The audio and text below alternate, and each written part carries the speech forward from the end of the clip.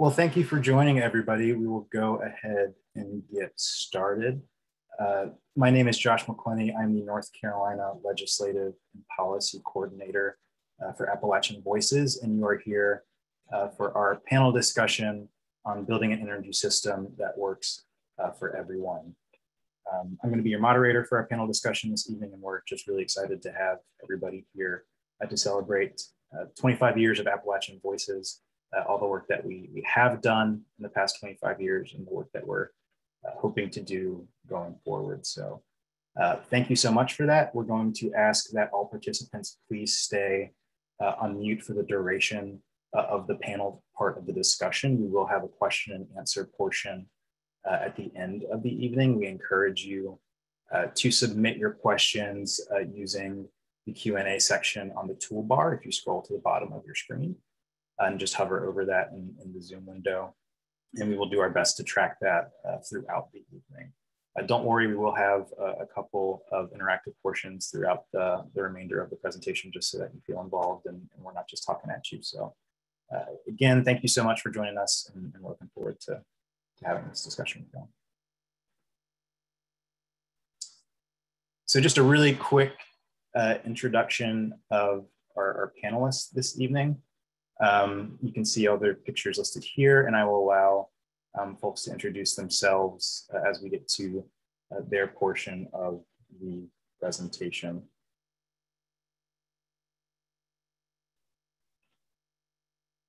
So we did just want to engage in uh, a little bit of grounding and get everybody on uh, the same page. You've heard me use this term multiple times already, energy democracy. Uh, and we just want to tell everybody what energy democracy is. Um, energy democracy is the newest program at Appalachian Voices.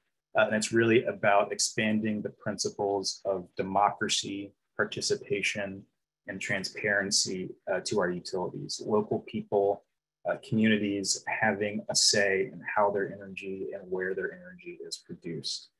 Um, everyone should be able to have safe, reliable, and affordable access to electricity. Uh, energy democracy brings conversations uh, like environmental justice uh, and equity uh, into the same room as conversations about our energy systems. Uh, it's, it's a movement, a growing movement, I should say, that really values and prioritizes active participation uh, and asks that all folks have a seat at the table.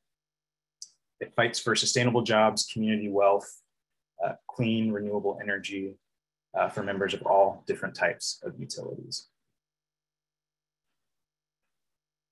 And I say all different types of utilities because um, all of us might come from or, or use different utilities.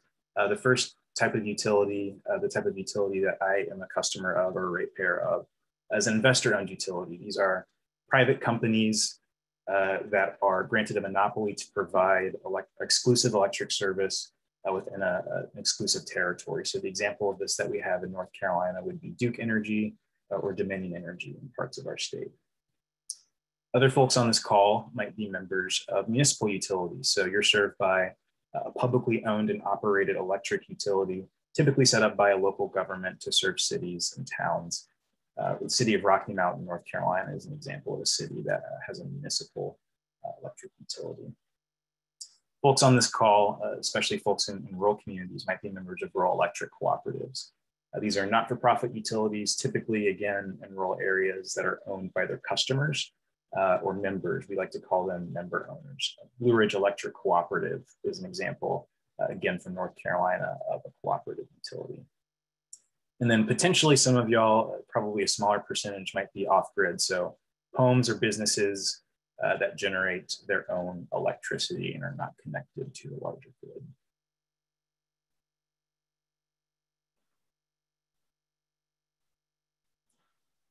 And so, like I said, we'd like to keep this presentation uh, interactive. So we're going to move to our first poll question, uh, which is what type of utility do you purchase your power from?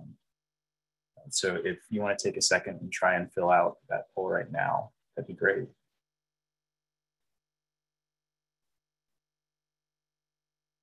A lot of folks on the call represented by investor owned utilities majority of folks on the call. if you if you want to, you can put which which utility that is in the chat. See maybe if there are other folks uh, on the call this evening who might be members or, or ratepayers from the same utility. A lot of folks represented uh, by municipal utilities on the call. No one who's off grid.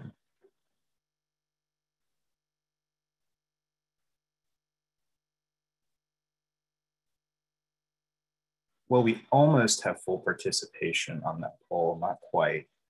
So I'll give folks just a, a few more seconds to participate.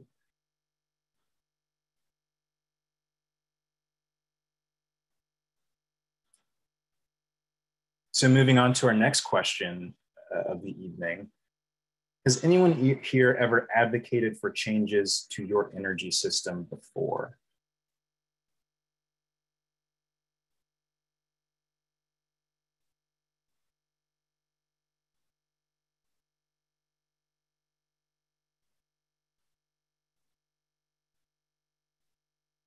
Again, has anyone here ever advocated for changes to your energy system before? Whether that be calling your legislature, uh, showing up to a public hearing and delivering testimony, um, voting for political candidates, a bunch of different options here for you to select.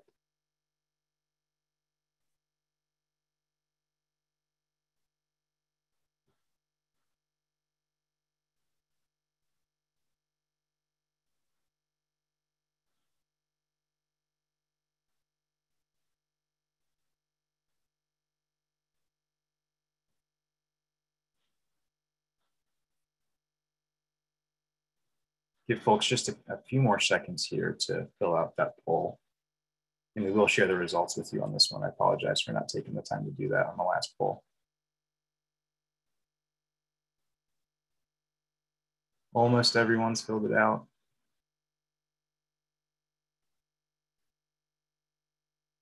Alrighty, so let's take a look at the results. Looks like we have several folks who are on the call that have voted uh, for political candidates that have supported clean energy. Um, a lot of folks who have contacted their elected officials. Um, several folks who have submitted comments uh, to utility regulators, maybe your, your utilities, your public utilities commission in your state. Um, and then a lot of folks who have attended meetings about clean energy and or utility reform.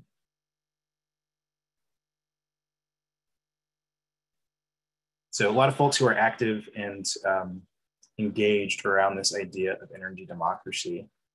Um, and as we kind of transition to the next part of this presentation, um, want to uh, just let y'all get to know a couple of folks who are part of the Appalachian Voices team, uh, who are, are full-time advocates um, and who uh, for full-time do energy democracy work and have been engaged on the front lines in various different states, different parts of, of Appalachian Voices um, doing that work. And so without further ado, I will pass us uh, on to Emily Piantek, who is the Virginia uh, Energy Democracy Field Coordinator, who's going to talk to you about some of the awesome work uh, going on uh, on the ground in Virginia. So Emily.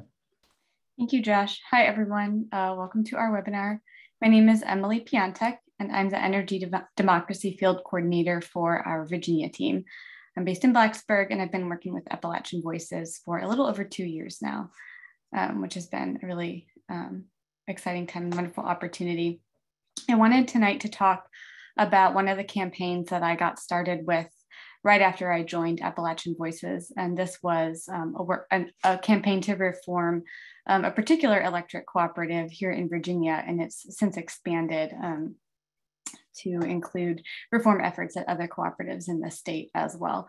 So um, Josh, Josh referenced earlier that electric co-ops are not-for-profit member-owned utilities. And because of that structure, they don't have the same profit making motive as a private utility company like Duke Energy or Dominion Energy would. Um, and therefore, they should be more responsive to the um, desires and input of their member owners. Um, the structure, the cooperative structure of electric co-ops is grounded in their history. Um, in the 1930s, only about 10% of rural homes were electrified. Um, and rural areas were often ignored by private utility companies who were worried about um, the ability to make money by expanding out into rural areas. And so they were concentrated in urban centers. Um, but then in 1935, President Roosevelt established the Rural Electrification Administration, and this eventually enabled um, farmer owned cooperatives to acquire funding from the federal government for the purpose of electrifying rural areas. Um, it was a hugely successful effort. By the 1950s, 90% of US farms were electrified, so in just under um, 20 years. So um, that sort of spirit of democratic ownership control is still valued today. Um, the National Rural Electric Cooperative Association, also known as NRECA, recommends democratic member control of cooperatives. Um, unfortunately, many cooperatives in Virginia they're not transparent to their member owners. They don't engage um, member owners in decision making at the co-op. And so they're not necessarily adhering to these best practices that are recommended by the um, National Association. And so just to give you some examples of what that looks like, um, most co-ops in Virginia have board meetings that are closed to the member owners. Um, they don't make meeting minutes um, or agendas available to member owners as well. So it's not clear what discussions those boards of directors are having about the governance of the co-op. Um, and they also engage in um, undemocratic and unfair board election practices where um, boards of directors can cast um, votes in the in the board of directors elections on behalf of the member owners, but it does give um, an outsized influence to um, incumbents um, for whom the boards of directors are, are more likely to vote. So it's difficult to unseat them. Um, so that's a problem that we face um, at a few co-ops here in Virginia. And this matters because um, poor governance and a lack of transparency slows the transition to clean energy down. So when member owners aren't able to provide input about clean energy or energy efficiency preferences and help guide co-ops um, towards, towards those resources, um, those member owners can get left behind that can get left out of the clean energy transition when their boards aren't um, progressive or proactive enough and aren't pursuing those clean energy options. So here in Virginia, we have cases where co-ops aren't investing in energy efficiency or solar when it would make sense to do so.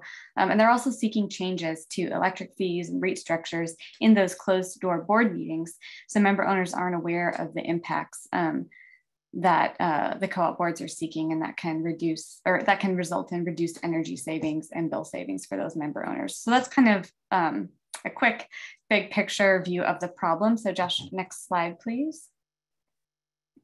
Um, yeah, so I wanted to delve just a little bit into what I'm calling a case study at one of our electric co-ops here in Virginia. So um, Rappahannock Electric Cooperative up in Northern Virginia is the largest co-op in the state. It serves over 150,000 members, which also makes it one of the biggest um, co-ops in the country. But a few years ago, some member owners became frustrated by undemocratic practices, particularly as it relates to um, the board election processes that I named earlier, um, and decided to do something about it. So they organized and they formed the, the, the organization Repower REC, which was composed entirely of member owners. Um, and they began, began to advocate for some reforms to Rappahannock's um, bylaws. Uh, a couple of the things that they were trying to do was, first of all, to reform those unfair board election processes to make it um, easier for a challenger to unseat an incumbent and to make the process fair. Um, they also wanted to open board meetings to member owners and to have the co-op boards make meeting minutes available to the member owners following the meetings. Um, and then another um, area that they were trying to reform was the fact that board compensation for members of REC wasn't available to member owners, and um, they felt that that information should be made public. So um, those were those were the reforms they were seeking, and unfortunately, all 13 electric co-ops in Virginia opposed these reforms. Um, next slide, Josh.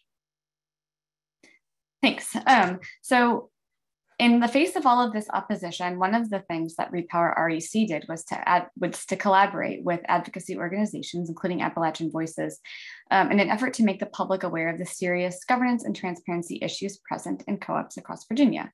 So we got together and we produced this scorecard that you see on the screen, where we ranked co-ops um, on a series of democratic governance items. So looking at whether or not their board meetings were open to the public, whether or not they posted minutes online, what their election processes were like, and things such as that, ranked it on a scale of um, 40 total points, and then compared those co-ops to model co-ops in other states. So as you can see, um, Rappahannock Electric down near the bottom of the screen um, is far behind the model co-ops that, um, that we have listed all the way at the bottom. So Pedernales in Texas and La Plata in Colorado. Um, and you can also see that 12 out of the 13 co-ops are in serious need of reform. So really not living up to the standard of democratic member control that NRECA um, recommends that they do. Um, so I will quickly point out though that this co-op in green, Powell Valley Electric Co-op, um, got a higher score than the rest. And that was the result of member owners organizing there. So Powell Valley is in the far southwest corner of Virginia, and some member owners got together and formed PVEC member voices and advocated for some bylaws changes. And one of those things being that they wanted to be able to attend the board meetings. And they did win um, that. And they also won um, some other um, of their demands there. So we know that um, that change can be made and that um, member owners organizing um, does make an impact on co-op governance and leadership. Uh, but anyway, back to the scorecard. So we attempted to use this scorecard as an advocacy tool to educate not only the public, but also legislators about um, the need for reform at the co-ops. Um, next slide, Josh. So um, let's see, yeah, so what did I wanna go over on this slide? Um, well, I guess one thing I forgot to mention is that Repower REC did have a piece of legislation that we um, supported in the 2023 General Assembly session here in Virginia. We used the scorecard to galvanize member owners, to talk to legislators, and we had Delegate Wendy Gooditis patron a bill that would have required co-ops to make some of the changes that we were advocating, including opening board meetings to the member owners and making the minutes available. Um, and unfortunately, that um, effort was not successful, but um, we're not giving up. And we're going to work harder this year and continue organizing with those member owners to build that grassroots power, um, to conduct outreach and education using the scorecard, using other resources, um, having those one on one conversations with other member owners about um, what their opportunities are as member owners of electric co-ops and why it's important for them to um, to get engaged and to advocate for, for democratic member control. Um, we're also in the past, we've done some regulatory intervention and have engaged in some litigation um, where appropriate. And so we'll continue to look for those opportunities um, to seek reforms as well. And then finally, you know, legis another legislative campaign isn't off the table necessarily, and we um, intend to continue supporting Repower REC in those efforts and in um, educating legislators about the issues as well. Um, so that's kind of a quick snapshot of our campaign to reform Rappahannock. And as I mentioned, we're expanding the campaign to build power at other um, co-ops in Virginia and try to advocate for these reforms. Um, I have one more slide, which is um, a little bit more general. So um, even if you're not a member of an electric co-op, one of the things that you can do here in Virginia to help um, reform co-ops and help them make that transition to clean energy is actually to call Senator Warner. And there's a timely opportunity to speak to him and ask him to prioritize passing the budget reconciliation bill that the House passed in 2021. This is a $555 billion package that includes some climate and clean energy funding for co-ops. So there's about $10 billion in that package that would help reduce electric co-ops' reliance on fossil fuels by financing their switch from coal to clean energy options. And then there's another almost $3 billion that would provide forgivable loans for co-ops to um, produce their own solar and to build out their solar resources. So again, to make um, to, to reduce their reliance on fossil fuels and to help them transition to clean energy. So um, I think we have, yes, thank you, Jen. So we have um, an action in the chat with Senator Warner's number, and we just encourage everyone in Virginia to give him a call today and ask him to prioritize passing that spending package. So um, that's it for me. Uh, I am going to pass things over to our next speaker, Maddie Koch. Thanks, Emily. Um, and thanks for the awesome co-op history. Um, so my name's Maddie. I'm a newer employee of App Voices. I started back in March. Um, so I'm an energy democracy organizer for North Carolina. And I have, um, I'm gonna share with you a very new initiative that we are starting in the town of Boone. Um, so this is with a utility company there that I'll get into because it's a little different than some of the ones that we've talked about. So this is New River Light and Power. Um, and we're also collaborating with the town of Boone. So these four bullets here are just the things that we'll sort of address that create these um, really unique contexts for our platform and our initiative. Um, so Josh, you can go ahead to the next slide. So initially, Appalachian Voices back in um, early 2020 was engaged in um, New River Light and Power was um, going to increase a rate for solar customers. And Appalachian Voices really wanted to get involved and prevent that from happening. Um, and then we really saw this like broader opportunity to work with the town of Boone and the utility company. Um, so these are some of these are our three main goals: is to work with the town of Boone and create this um, hopefully win-win situation, and make solar more financially viable for individual ratepayers, and add more renewable energy to the grid, which is a really new push um, that I'll get into a little bit more. So, Josh, if you want to go to the next slide. So a little bit more about the town of Boone, because I know we have people from all over. So the town of Boone um, has about 20,000 full-time residents. Um, it's in the northwest corner of North Carolina. We're like pretty close to the Tennessee line. Um, the town of Boone also has Appalachian State University, and which the university is almost the size of the small town of Boone. Um, and the town of Boone um, has really robust climate goals. And there is room for us to work with Appalachian State University as well, which has a really robust um, sustainability department and a lot of really amazing professors with lots of expertise and room for collaboration. So the town of Boone, um, as of in 2016, they passed um, climate goals. And then in 2019, they really bulleted these three climate goals here. So there's the climate neutrality in municipal operations by 2030.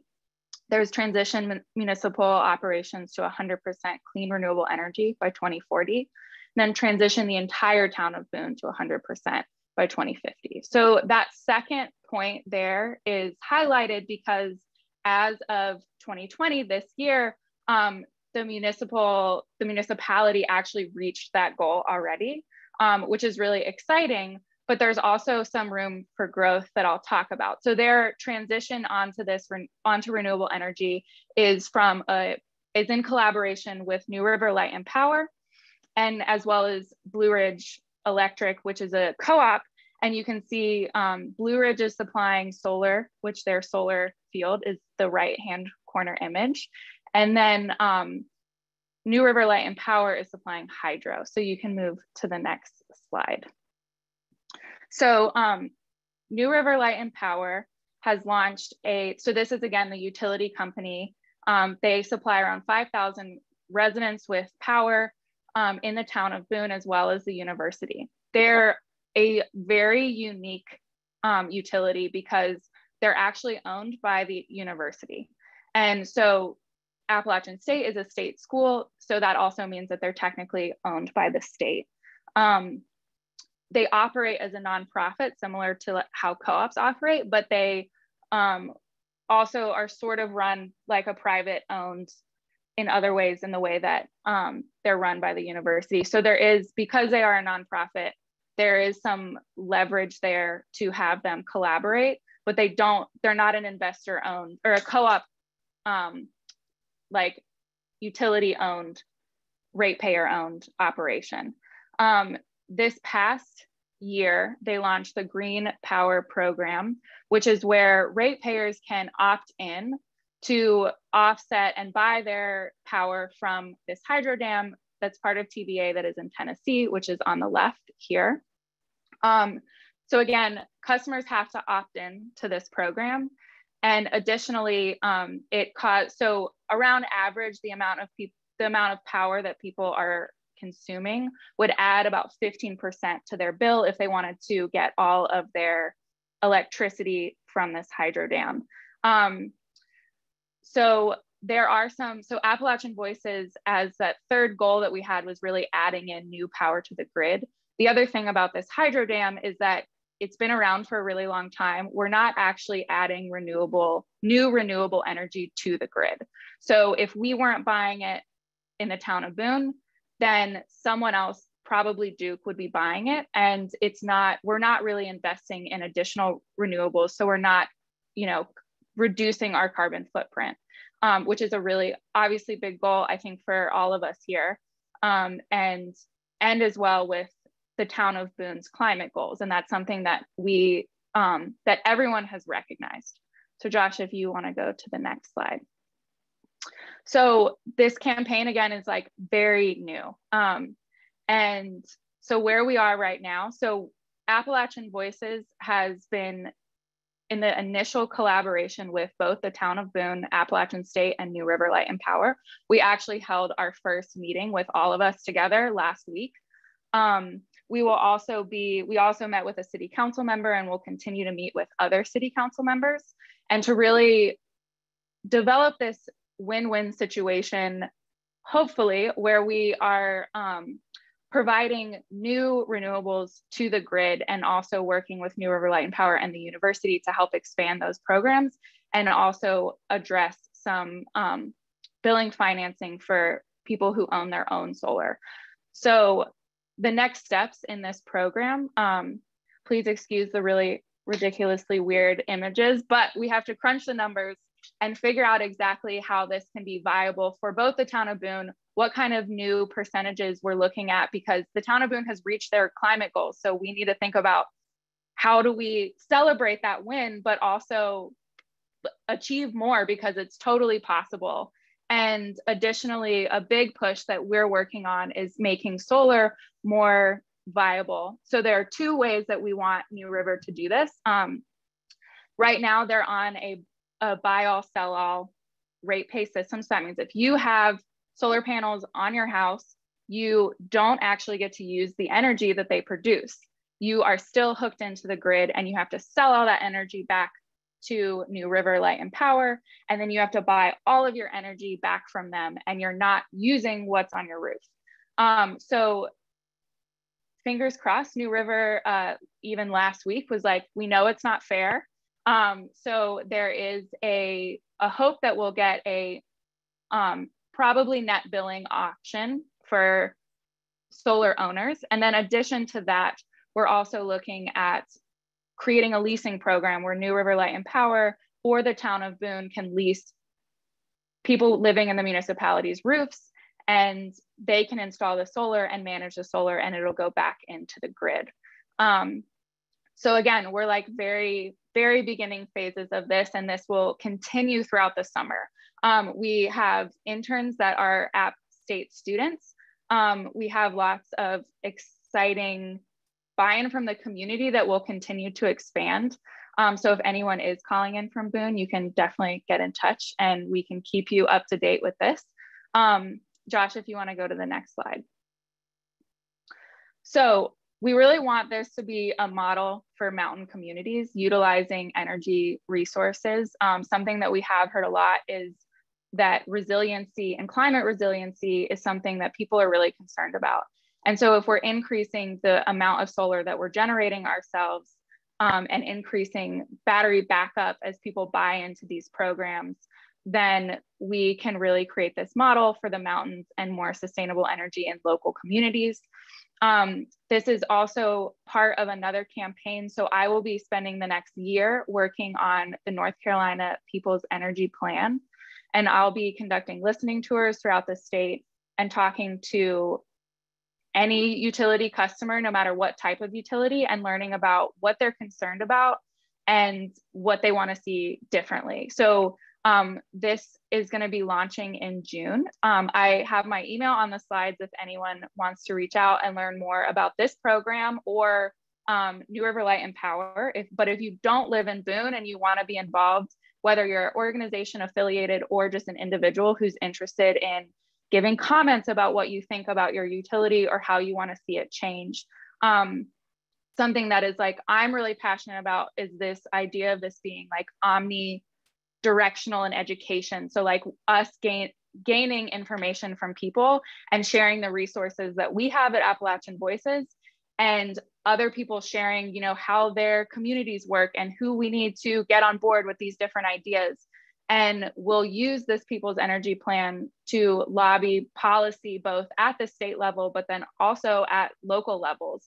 And um, it is our hope, fingers crossed, that uh, New River Light and Power will be a model for that. So that is all I have. Um, and I will go ahead and pass it over to Gabby to tell us about Tennessee. Everyone, thanks for being here tonight. I'm Gabby, um, Tennessee Energy Democracy Field Coordinator based in Knoxville.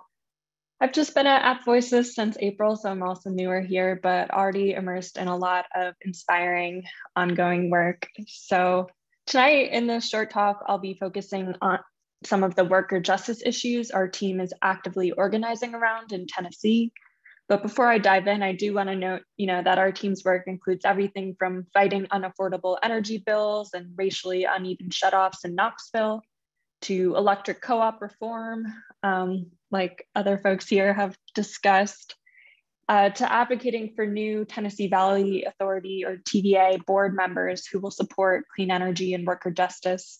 And the scope of our work is big because energy touches our lives in so many different ways.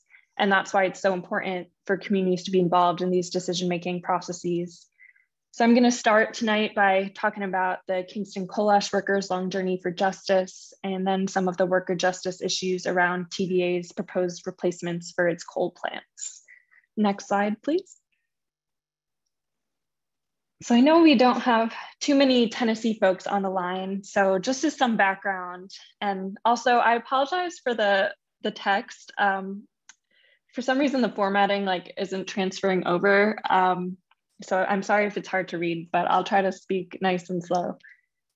So in 2008, uh, what you see here is the largest industrial spill in US history, which took place in Harriman, Tennessee. A dike holding in coal ash from TVA's Kingston fossil plant, a coal plant ruptured, releasing 1 billion gallons of coal ash slurry into nearby rivers and land with a force that knocked houses from their foundations. And this disaster was nearly 10 times the size of the Deepwater Horizon oil spill for scale. And coal ash is a toxic radioactive stew containing heavy metals and chemicals like arsenic, mercury, and lead. Next slide.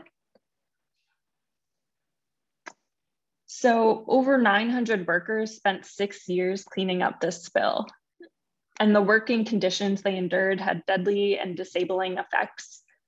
Jacobs Engineering Group, or Jacobs, um, contracted with TVA to lead the cleanup, but failed to inform workers of the health risks. And there are reports of Jacobs even confiscating and destroying workers' personal dust masks because uh, they wanted to, people to, to feel like it was safe. And now over 220 workers have come forward in a lawsuit against Jacobs with lung diseases and cancers, while over 50 workers have died. Next slide. But the toxic impacts of this disaster didn't end there.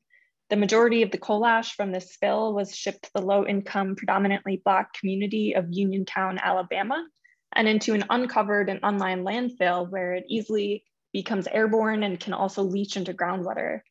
Community members there have organized to form the Black Belt Citizens Fighting for Health and Justice group and have, uh, that group has been working with folks in Tennessee who were affected by the spill because these fights are inherently connected. Next slide. Now, and part of why I wanted to talk with y'all about this tonight, there's a critical court case for the coal ash workers coming up in exactly one week on June 1st. And the Tennessee Supreme Court will hear the next phase in a case between cleanup contractor Jacobs and the 226 workers and, and over 100 spouses who have filed claims. And this part of the proceeding is focused specifically on the injuries that workers sustain from the cleanup. Jacobs has asked for the court to classify coal ash as silica and mixed dust, and for the workers to prove specific injuries that don't reflect the type of injuries that result from their exposures and, and that these workers are presenting with. So if the court rules in favor of Jacobs, it would set a harmful precedent for future coal ash injury cases And the Kingston workers and their families could receive no compensation for the tremendous losses and medical bills they've endured over the past 14 years. And so groups like App Voices will be gathering in Nashville to support the workers and their families on the first, and others are holding solidarity events leading up to the hearing.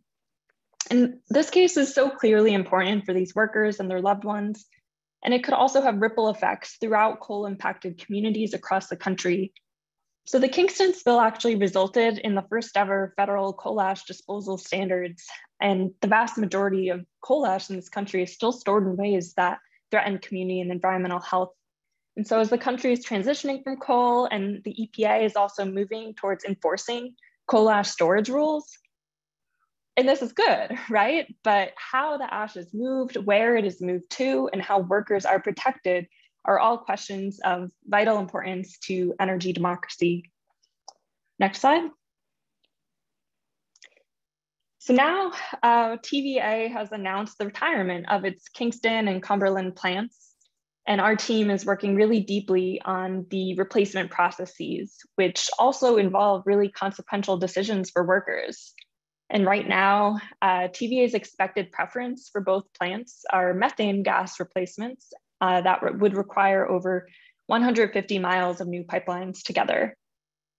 While I suspect y'all agree this is problematic for a lot of reasons, it also fails to deliver a just transition for the plant workers.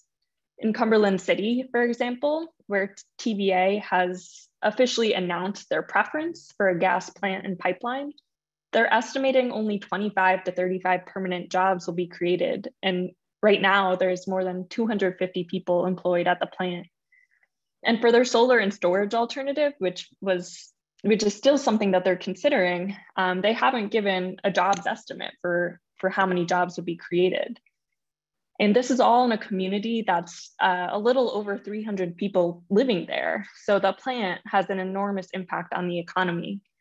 So workers in our communities deserve far better, but I do want to emphasize that TVA's decisions are not finalized yet with the Kingston plant. Um, they're even less finalized. And so there's still time to weigh in and fight back, which our team is working to do alongside local communities. And so another point I want to emphasize is that dealing with coal ash is, is a huge piece of a just transition. And there are a lot of jobs in this work that we don't always think about. And I want to give just one more example of how the need for worker, environmental, justice, and democratic governance come together in this work. Near Memphis, TVA has already replaced one of its coal plants with gas. And there's an online coal ash pit on site that's threatening Memphis's drinking water, so it needs to be moved. And TVA made a plan and has begun hauling the coal ash to a landfill um, in a predominantly Black South Memphis community. And this process is expected to take up to nine years, which is a long time and a lot of jobs. So for energy democracy, we need public input before decisions like this are made. And, and organizers in Memphis are have been really active in um, fighting and, and trying to make this process better. Um, and we need jobs that keep everyone safe and storage decisions that, that protect communities and the environment.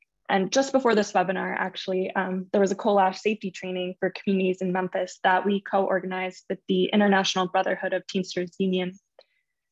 Next and last slide. Thank you, Josh. So returning to the Kingston coal ash workers case, it's really important to the families we're working with that we keep the Kingston workers in the news and honor their lives. And as a simple call to action, we're encouraging folks to stand in solidarity with the Kingston cleanup workers on social media. And I've put together a little toolkit to make it really easy, um, which yeah, Jen, thank you for putting in the chat. So that has little templates for Twitter, Facebook, Instagram, and some graphics that you're welcome to use. Um, encourage you to use the hashtag remember Kingston. And if you have any thoughts or questions, um, my email's on the slide. Thank you so much for being here tonight. And that's all for me. Big thank you to all of our panelists. Thank you, Gabby, Thank you, Maddie. Thank you, Emily, for letting us know uh, just what is going on in each of uh, those three states. Uh, a big shout out to Jen for keeping up with uh, all the different links and calls to action in the chat uh, so that everyone can just stay up to date and make sure that they're, they're following through on those actions. we do want to go into an activity and a question and answer. However, before we do that, let me admit a mistake as your facilitator, which is I completely forgot to let all of us sit with the results of that first poll, which was uh, what different type of utility customers we had represented here. Oh my gosh, thank you so much, Jen, for pointing that up for me. Um, but as we can see, or I don't know if y'all can see that, uh, 16 or 14 of y'all or 64% were customers of investor owned utilities. Three of y'all or 14% of those who filled out uh, are member owners at electric cooperatives. And then five of y'all or 23% uh, are customers of municipal utilities. There is no one uh, who was part of the chat tonight uh, who was an off grid customer. So that just lets everybody know uh, the makeup of uh, different utility customers that we had represented um, this evening.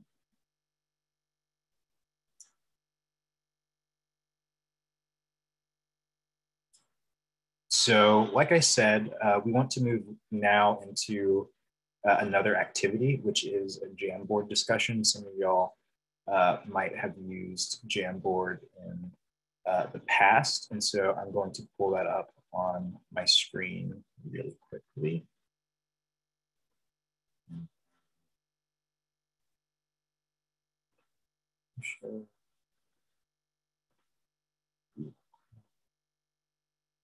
So y'all should be able uh, to see my screen right here. And I think Jen is putting a link to this Jamboard in the chat. But what this should allow uh, is for folks to um, treat this like as a, as a community message board. So uh, on the left, you have various options. So if I click on sticky note, it will give me the option uh, to open a sticky note uh, and type a response. And so as you can see, uh, our first question here is what does energy democracy mean to you? So energy democracy to me uh, is local communities uh, in getting a say in where their energy comes from. So I can type that here. I click save. Folks should be able to see that then uh, on the Jamboard. For folks who've used this before, uh, it goes much deeper than that. Uh, you can add images, you can doodle a little bit. Uh, so we're really going to encourage folks to take some time. Uh, we have two questions, and so we're gonna to spend uh, just a couple of minutes, two or three minutes here on this first one. what does energy democracy mean to you? Uh, and so if you want to either put a sticky in or, or maybe pull an image that you have uh, that represents energy democracy, um, we'll take some time to do that now.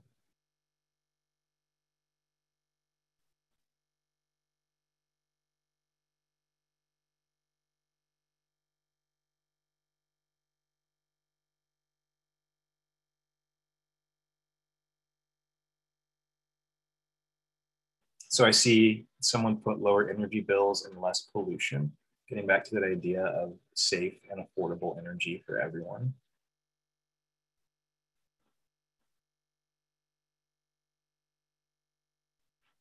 I'm seeing worker protection, good jobs. Uh, workers should be protected. Again, that goes back to uh, something that Gabby talked about with the Kingston Coal Ash Spill, making sure that worker justice is a, is a really big part of energy democracy. A fair, just transition to a system that works for all in capital letters, big emphasis on all.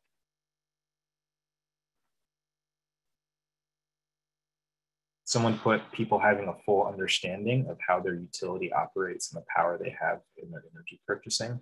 Yeah, some more public education. This is really, really complicated stuff, making sure that everybody has access to education.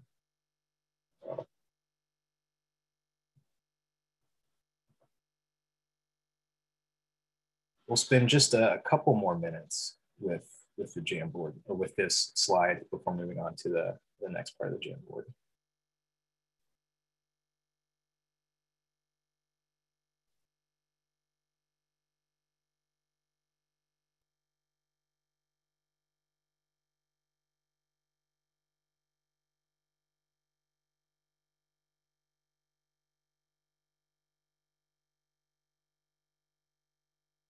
Users have choices is another sticky note that someone put in there. Level the energy playing field.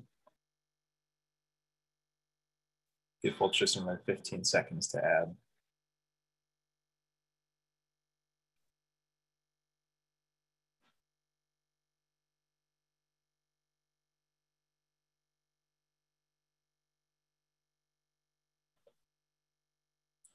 And if you go to the top of your screen and click one over uh, on, on these frames, we have another question for y'all to respond to.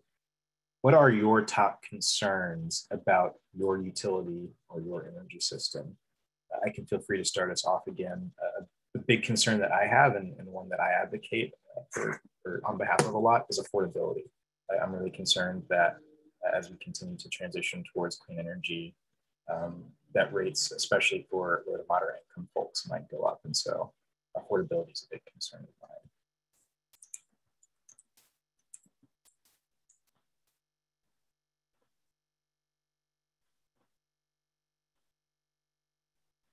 So again, you can get to that second frame by scrolling or going to the top of your window here uh, and going one over. Uh, and we'd love to, to see what are your concerns about your utility or your energy system. See someone put a monopoly board there, concerned about the monopoly. All the negative aspects that come with being or not having that utility choice.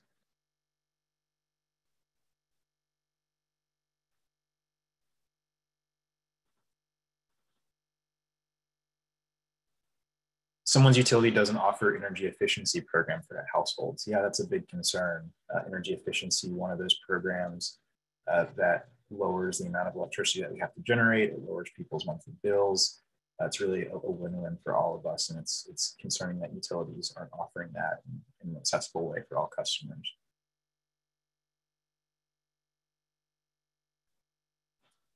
I think that's a political puppet gift, if, if I'm if I'm guessing right. Uh, if I had to, I'm not going to guess who put that there. Um, just going over uh, some other thoughts that folks have contributed to the Jamboard $10 million paychecks, utility executives getting really, really high executive pay, um, while many of their customers are facing uh, the threat of shut off on a monthly basis.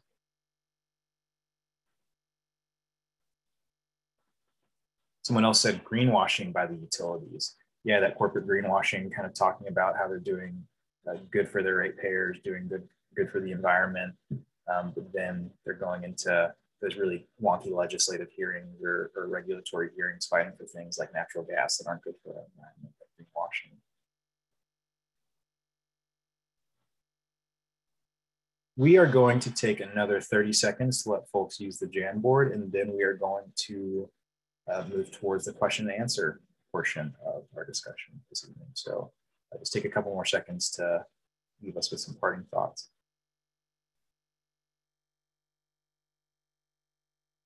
Someone said racial injustice and access.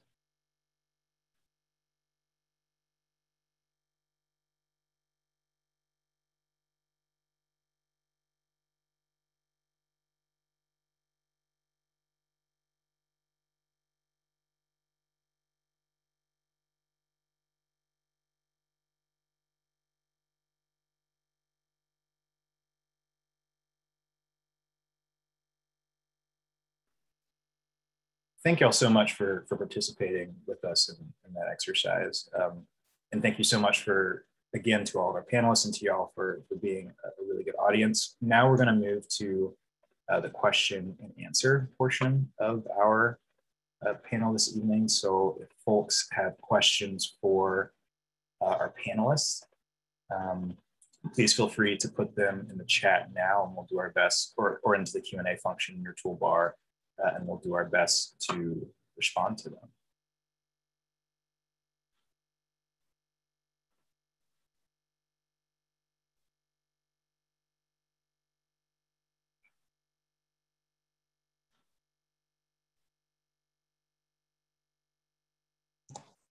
I'm not seeing any any questions submitted in the Q and A section, so I'm guessing everybody here is. Josh, there was um Oh, thanks. Sorry to interrupt. There was a question from Carl in the chat. Cool. Let me scroll up and look for that Maybe for Gabby about TVA. Sure. Well, I guess it's not really a question. Now that I'm reading it, it's a comment. But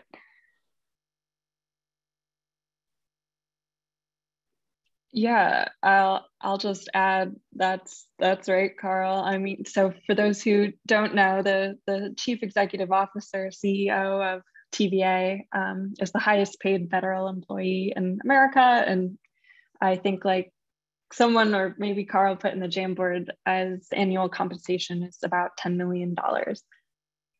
So pretty alarming. I agree.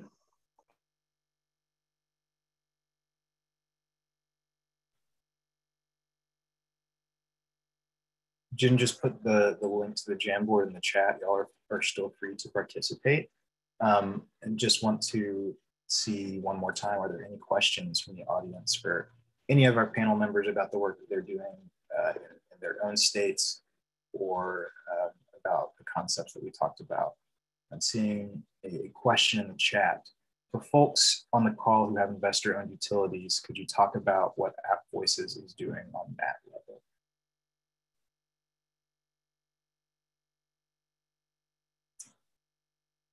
Jamie, is that for panelists? And if so, I'm wondering actually if Matt, you want to respond to that. Sure, I'd be happy to. Um, yeah, we did focus a lot of the energy democracy work. We think about a little more focusing on people's local energy systems, but for a lot of folks, that is investor-owned utilities. Um, and so, you know, the, the two that we've we've worked on most are are Dominion Energy in Virginia and Duke Energy in North Carolina. Um, both both of those those companies have um, come kind of kicking and screaming into the clean energy economy. Um, they have not been um, leaders we wanted them to be. Dominion's been a little bit better about that. The the, the issue with um, with Dominion that we've had the the the biggest problems with is just a real inequity, the, the ways that they use their power um, to really get legislation passed that is not in the public interest. It is in the interest of Dominion and Dominion sh shareholders. And that's that's generally our, our issue with in our energy democracy program with investor-owned utilities. Um, the same is true with Duke Duke Energy in North Carolina, um, which is the most powerful lobby in North Carolina. Um, and so they routinely write the rules that, that, that regulate them. Um, and so we are there every year. Um, we've got uh, team members in Richmond uh, the day that the legislature opens every year in January. Um, and we've got in North Carolina, we have Josh, um, who's who will be working the legislature um, when that starts up. Um, and and yeah, we're just mostly mostly in, in, in both sta- states right now it's um, it, especially in north carolina it's mostly playing defense. It's trying to stop um, bad things that duke does uh, while we um, pursue solutions at a more local level um, is, is is what i'd say. Josh do you want to add anything more to the to the the duke campaign? I, I, think I could probably spend hours talking about yeah. the problem, but, right? Um, seeing as we're, getting closer to uh, the end of our programming, I do want to get to two questions that were just asked, one in the Q and then one in the chat, and we'll uh, start with the question that was asked in the Q and A, which is, what can I do to make changes at my utility? Uh, sometimes it seems kind of impossible. Wondering if there's any other panelists who want to take a, a shot at, at answering that one. It's a big one.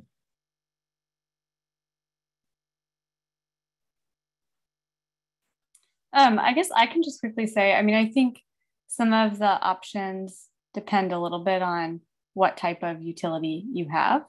Um, but I think regardless of utility, one of the um, first things you can do is try to connect with organizations or other customers or members of that utility who are interested in change. Um, I think the more of us there are, the more powerful we are. Um, and so trying to yeah to connect and um, see what avenues you ha- there are available in your area to make your voice heard is definitely a first um, and i think really critical step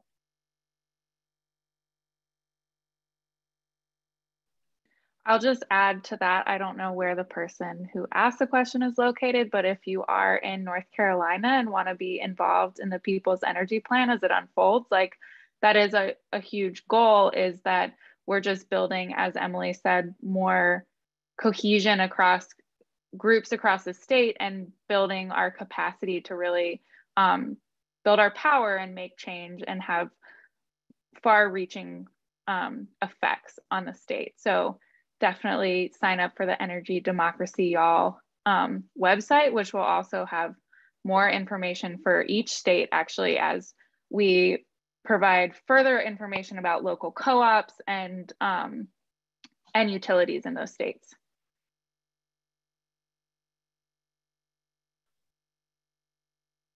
Thanks for both of those answers, y'all. Um, I do want to, or yeah, let me pause and see if there's anyone else wanted to offer anything.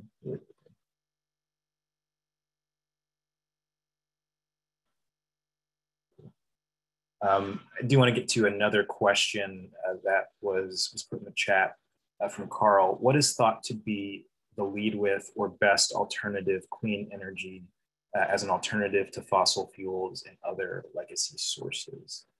Uh, anyone who has particular thoughts on, on that question?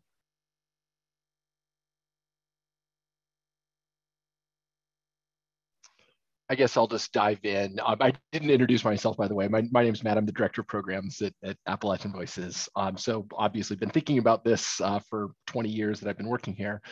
Um, and uh, you know, on it's it's what you hear about. It's, it's not a mystery. It's not a, not a secret. It's solar, right? It's solar and increasingly affordable storage um, that makes solar a much you know better replacement for baseload power um that's the and, and the best kind of solar is rooftop solar because you don't have to take over any agricultural land you don't have to cut down any um so that's what we'd really like. I mean to, to us I, I think that the gold standard is rooftop solar with storage. Um not everyone can afford that. Um and that's not not always the most cost effective solution in every every situation but increasingly it is cost effective and so yeah i would i would lift that up as the gold standard.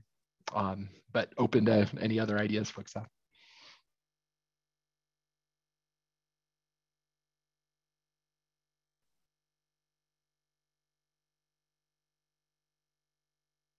i'm not going to argue with that matt um, and we do have one more uh, question in, in the chat uh, and, and, folks, we are beginning to run out of time, so we'll answer this one. And then uh, when we share the recording of this and a follow-up email with folks, we'll also share the contact information for all of our panelists in case you have further questions, but I do want to be respectful of folks' time. A question from George really quickly though is, is there any chance to reform Virginia's state corporation commission that regulates utilities? Um, I guess I can take this one since I'm the Virginia coordinator um, and maybe Matt, if you have anything to add would appreciate that as well.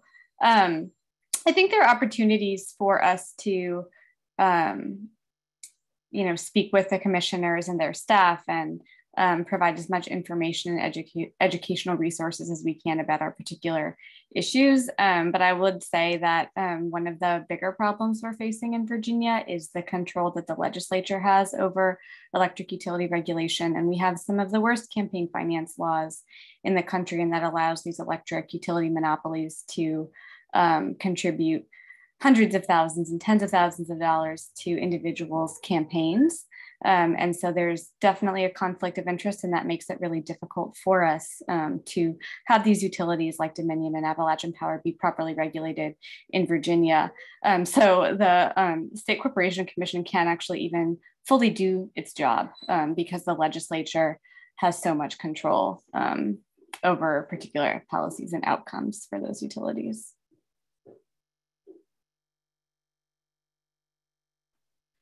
Yeah, that, that answer seems great to me. I think that reforming the state corporation commission means reforming the legislature and the governorship of, of Virginia because that's who who appoints and approves approves them. But fortunately, we do have a lot of opportunities to intervene, um, represented by Southern Environmental Law Center, and do in uh, just about every docket with with that's that's very important. So we certainly try to influence it a lot. Thanks y'all for those answers. Uh, and and as we just transition towards the end of our programming tonight. Uh, thank, a big thank you to all of you for uh, being with us this evening. Uh, thank you to our panelists for participating. Um, we are, again, we've been here to celebrate the 25th anniversary of Appalachian Voices, 25 years of doing uh, this awesome type of work. And so as we celebrate that, we just want to say we're incredibly grateful uh, for all of y'all, our donors, our volunteers, uh, to our staff who have made this vital work possible.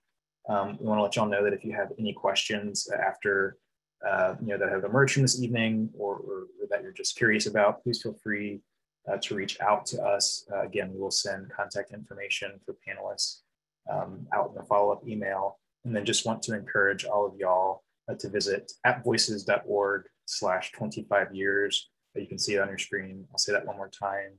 appvoices.org slash 25 years. Uh, that will allow you to register uh, for more for more upcoming events. We're doing one of these on the 25th of every month, and we'd like for y'all uh, to join us and hear about all the work our other programs and teams are doing across the state. But thank you so much. Uh, we hope you have a lovely evening. Uh, and as we head closer towards a long weekend, we hope you have a great long weekend as well. So uh, thank you so much.